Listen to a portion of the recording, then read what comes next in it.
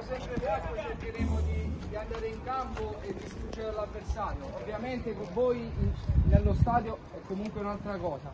Però cercheremo sempre, in ogni momento, di onorare la maglia dentro e fuori dal campo. Grazie a tutti che siete venuti oggi e sempre dai Burdello. Forza!